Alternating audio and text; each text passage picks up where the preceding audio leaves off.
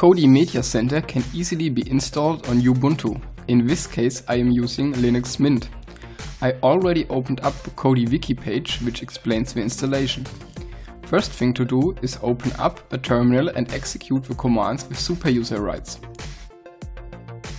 We are just interested in the four commands given in the wiki.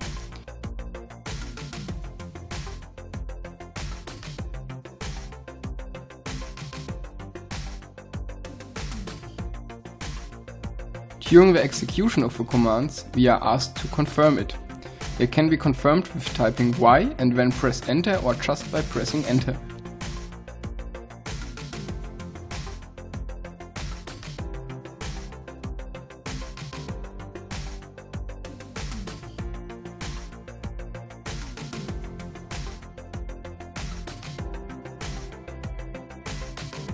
The last command is the installation of Kodi.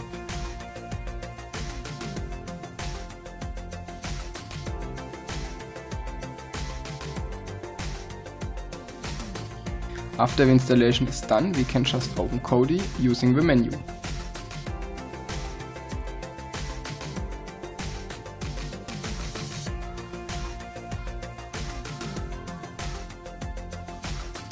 Kodi is now ready to use.